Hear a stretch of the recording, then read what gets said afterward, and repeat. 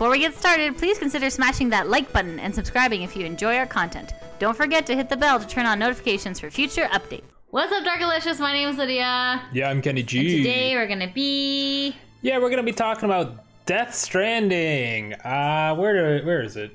Right here, special edition, Death Stranding. Metal Case. The metal, the metal edition. Yes. Um, so yeah, we've played through the first eight hours of the game, and from what I understand, it's an uh, it's a 50 hour game. But uh, we want to tell wait. you before we get into anything that we're probably going to mention spoilers Yes. of the initial eight hours. We've only Yes. played uh, eight hours, so that's all we know so far. Um, yeah. So if you haven't played it yet, maybe uh, Come back to the come back later, or if you just don't care, or you've played it already, then let's chat, right? So, uh, yeah. What's your initial impression of the game, Lydia? I want to gouge my eyes out. I want to gouge my eyes out. oh my god, it's so boring. It's- uh, it's that's me. really That's me personally. Bad. Like I know, like I'm sorry, I'm sorry, but it's just like, oh my god, and then like it, it What did I- it's hard to navigate. It's The not- navigation's not too bad, but it's infuriating. I would no say it's very. romance. It's your sister.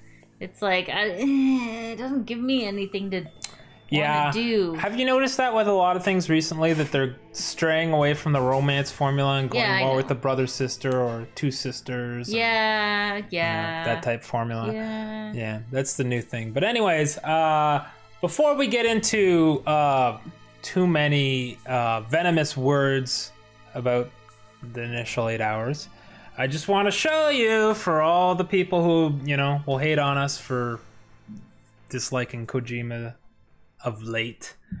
All of the Kojima love we have. Okay, We're gonna first of all, flex on you. Wait for Okay. this. Okay, there you go. Snatcher, Sega Saturn, okay? Snatcher, Sega CD. This game alone is worth like $300, $400. Maybe more even, I don't know. Uh, Policenauts. Uh, this one is Sega Saturn, I believe.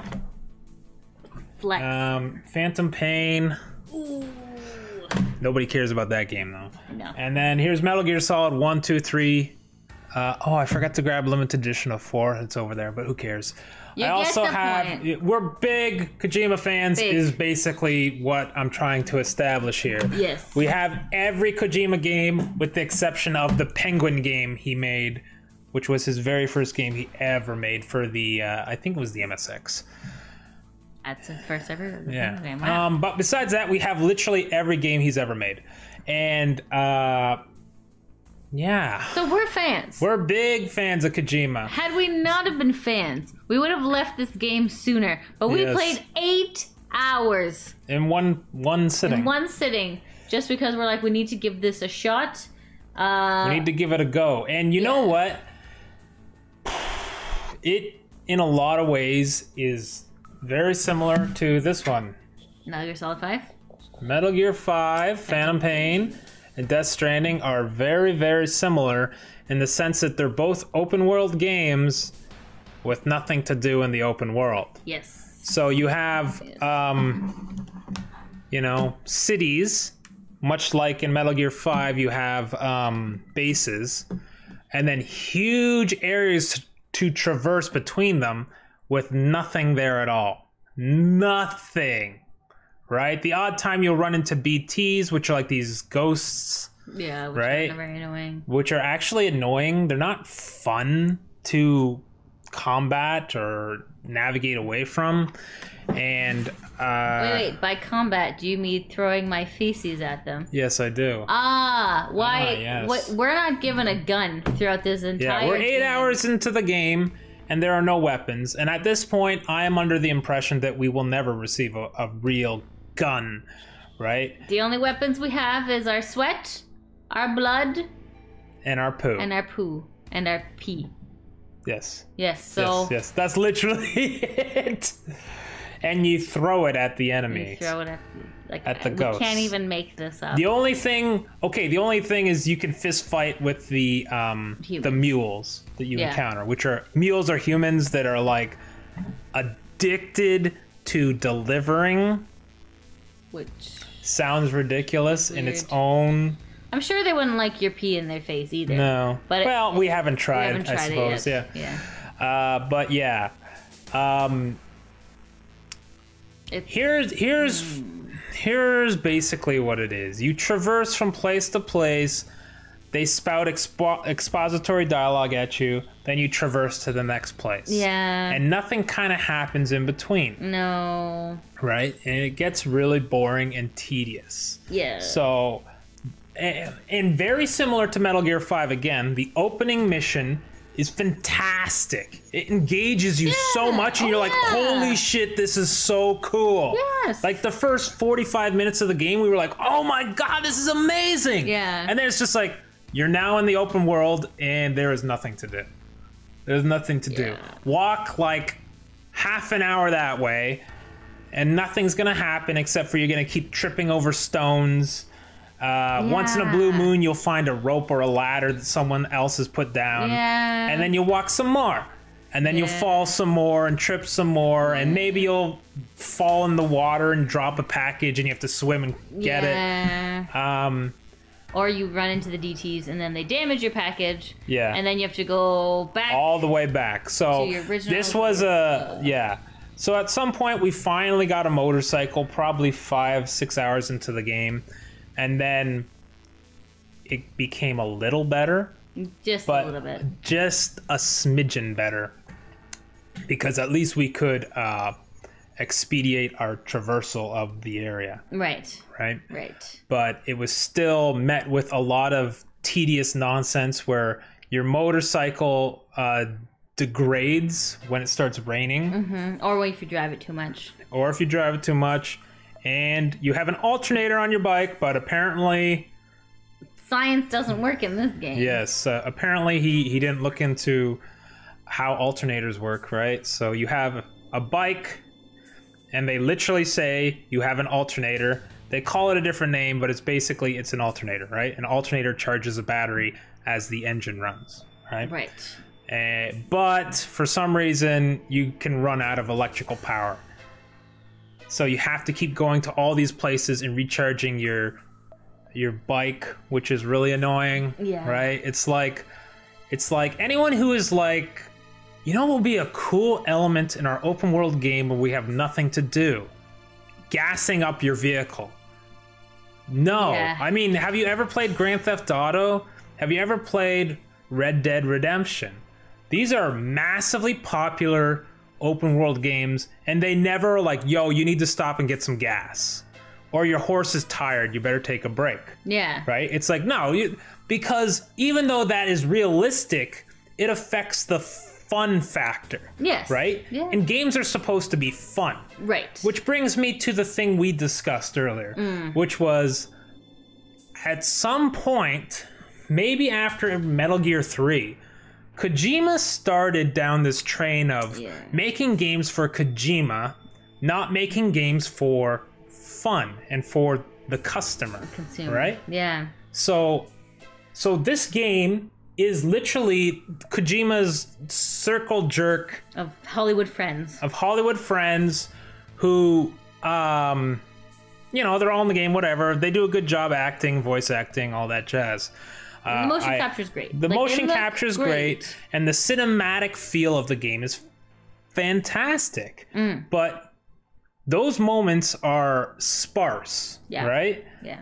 And the game is guilty of another thing I hate in video games, which is giving you a lot of information stuffed in menus that you have to dig through to learn about the world. So rather than telling me, you know, what This is what happened. This, This is, is- what this means. It's this is what this means. It's like, hey, you should dig down three tiers of menus and read this special diary. Yeah, that someone else wrote that we didn't get voice acted. I don't know why they don't get that voice acted. Money. That's why. Well, special no, but those diaries are written by the characters that are in the game. Right? Like one is written by Dead Man, one is written by the other dude who dies every 21 minutes or something, and one is written by uh, the guy with the skull mask, right? But uh, it's just painful Yeah. right? So I'm just going to give you an example of a part of the game that I found incredibly frustrating. We got we finally got our motorcycle. Then there was this mission where you had to go to a port, right? We had to go to this like port, like this harbor town, right? And so we uh in order to do that, for whatever reason, they're like, before you do that, come all the way back home Ugh. right? yes. Which is like an hour maybe of walking to get back home. Mm-hmm. But luckily for us, we had the motorcycle. Mm-hmm. But what happens? We get on the motorcycle, we charge it up with the electrical. You have to build these generators. Mm-hmm. It's all 3D printed stuff, and you 3D print basically. They call it chiral. Chi, what is it called? Chir, Starts with a C. chiral, chiralium or something, and they do some kind of 3D print, right? And then it be, turns into a, an electrical generator, and this boosts. Basically, it gives an electrical boost to your motorcycle because they're like, "Oh, the battery is dead. You need to give it a boost." Because the alternators don't work in this world. Yes. So you boost it, you drive your motorcycle back. It takes you like 15 minutes, right? You get there, you, you get all the way back, you pick up your packages you have to deliver, you come all the way back, you get like halfway, you encounter BTs, they damage your packages, and then you in my case, right? Maybe if you kn- knew exactly what to do on your very first playthrough, Yeah. uh, it wouldn't happen. But for us, we encountered BTs, they attacked us, we lost some of our packages, but we didn't die, we just lost some of the packages. Because when they come out of the ground, they're grabbing you, And you're on your motorcycle. and they damage your bike, and then they damage the packages. So luckily, we evaded them. The BTs went away. Then we got back on the bike, had to traverse all the way back to the home city again for the second time. Then uh, we spent like 30, 40 minutes trying to figure out how the frig do we get our cargo? yeah, right? it says we won't let you proceed to the next chapter without you having all your cargo. Yeah, and it's like you only have one of the four packages you need to deliver. We're like, where do you get the other packages? I'm yeah, I'm at the terminal that gives you the packages. Like our packages had been destroyed at yeah, they were destroyed, and we're like, how do you get the packages again once they've been destroyed? My eyes twitching. oh my god. Right? Uh, maybe uh, maybe I'll include some footage. I'll I'll probably like overlay some footage or something. But um, yeah, we literally spent like half an hour trying to figure it out until we're just like, all right, let's look on the internet Yeah. and figure out. And, and that should never be the case. That takes you out of the game. It sucks. And that should never be the case that you need to go and Google how to do something simple like retrieve the packages you need to deliver. But for whatever reason, that's what Kojima decided he wanted. He he he buried it like four menu tiers down how to get the packages again. so essentially, you had to go cancel the order, then you had to re Reissue issue the order. pick up the things, load it, load it back on your bike. Then, uh, because at that point we were like, oh shit, we need to repair our bike because Yeah. it was damaged. So we then we put the bike into the garage to have it repaired. And then when it came out of the repair bay, the packages are gone again. So then we had to load the, we had to go. Then There's- we had to figure out another thing, which was the packages when you put your bike in the garage. Uh, and it comes out of the garage fixed, your packages are shoved into your private storage locker. But at no point is it told to you that's Yeah. where they are. Yeah. So you have to again go on the internet or figure it out through dumb luck and clicking through the menus. Yep. that That's where your packages are. So then we have to go in the private locker, then load all the packages, then get on the bike, then Oh, but if you load the packages and you're not on your bike, then it tells you that you don't have all your packages. Yes, so it's like you don't have all your packages, and I'm like, Where what do you mean? We just loaded the packages. How do we not have the packages?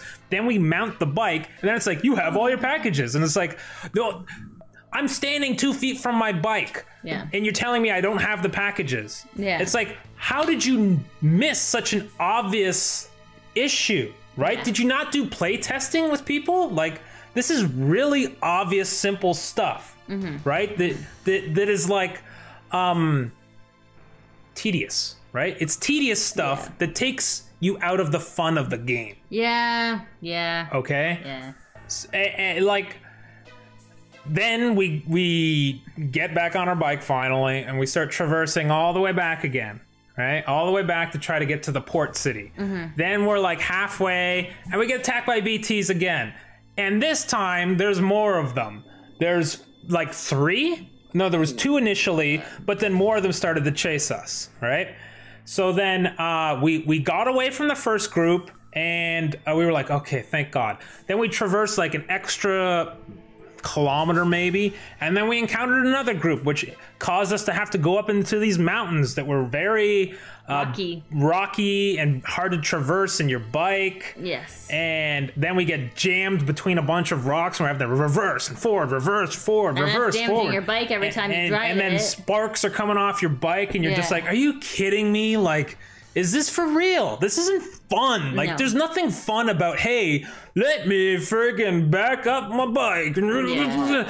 right? It's not fun. There's nothing fun about that. Like, then finally, uh, they caught us. They caught us. And then finally, the first fun thing in the entire freaking game happened, Mm. which was uh, a giant whale emerging from the oil chasing us through uh, the mountains, right? Yeah. And that only happened because we got caught. Yes. So it shows that if you are a good player, which I guess we were, because we hadn't actually been captured by them yet Yeah. until that moment yeah. that uh, when you finally got caught, that's when an exciting action sequence happened. And we had to start running through the mountains, and this whale is jumping Mm. out of the oil trying to snatch you. And you can see the green grass in the distance, and he can't uh, get out of the grass section. You know, he can't get out of the oil. Yeah, yeah. Right? So you're running, trying to get to the grass, and he's leaping out of the oil, trying to like eat you, Mm, right? And you're just like, holy shit, this is insane, right? Mm, And then finally we lost him, and then we had to go.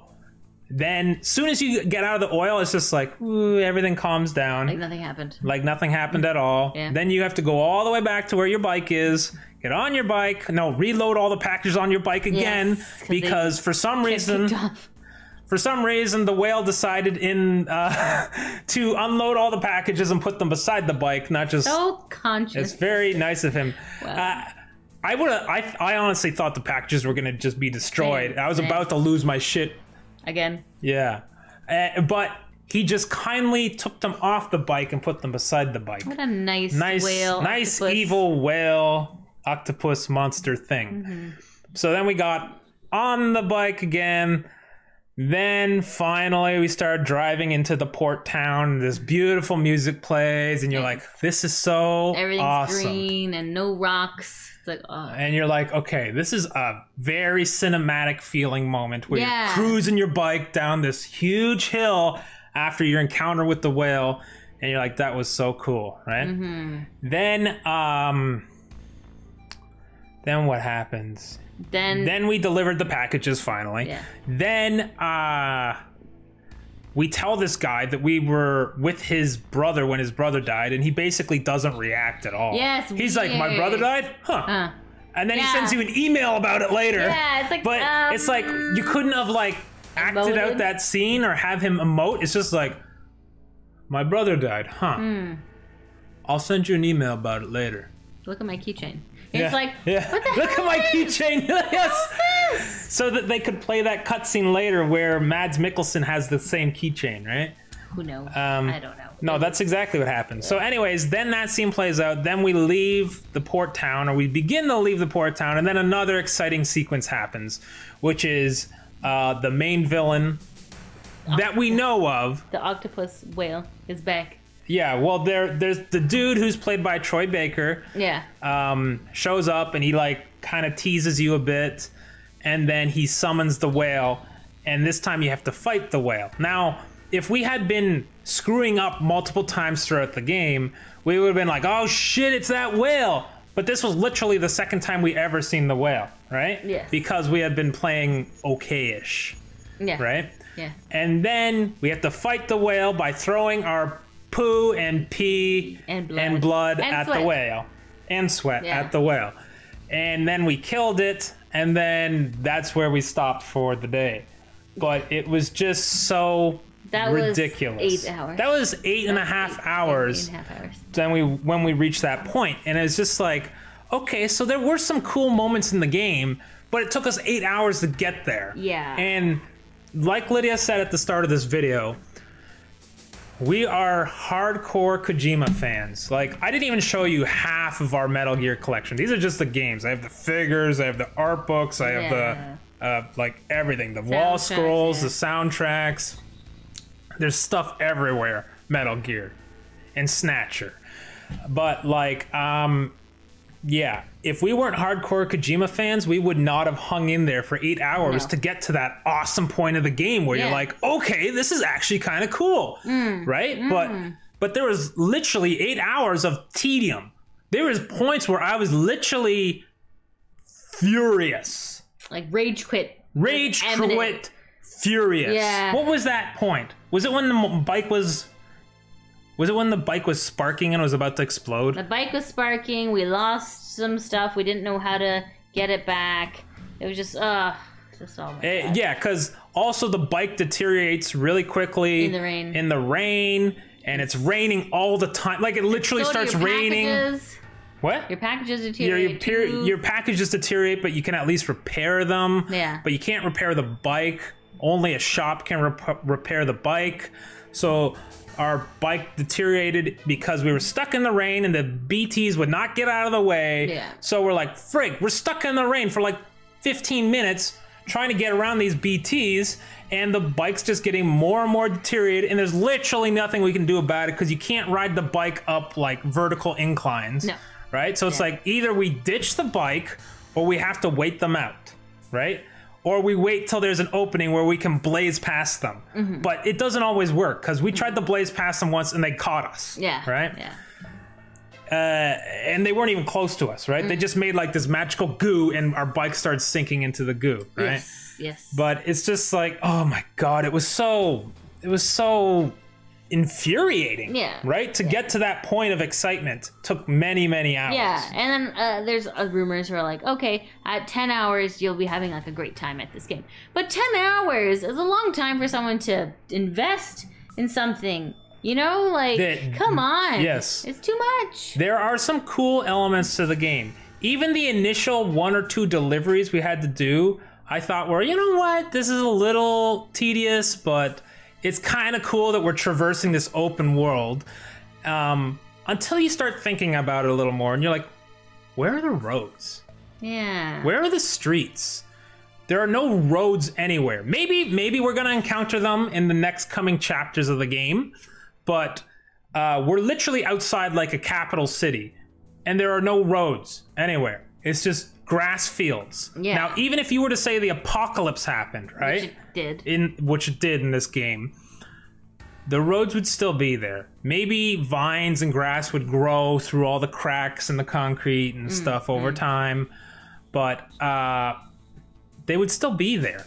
They're Yeah. Mm. stone, right, or tar or whatever. They wouldn't just be completely gone, right? It seems strange. So literally, there's nowhere in the game we've encountered where there are smooth roads except for inside the cities. Yeah. As soon as you exit the city, within five meters of exiting the city, you're off-roading, Yeah. Right? Yeah. And it's frustrating because every like two feet you hit a rock, and then you navigate this one, you hit a rock, and you hit this, Yeah. hit a rock, and you hit a rock, and you hit, and you have to keep doing wheelies to get over the rock, Yeah. rocks, right? And you have to like rock back the toggles to do the wheelie to get over the rocks And then the baby gets mad. And then the baby gets mad and so you have to rock the baby and you're when you see that mechanic in the trailers you're like oh that's an interesting mechanic you have to rock the baby except for when the baby's getting mad every like 30 freaking seconds Yeah. and you have to be like rock the baby rock the baby Yeah. rock the baby and you're like "Fah!"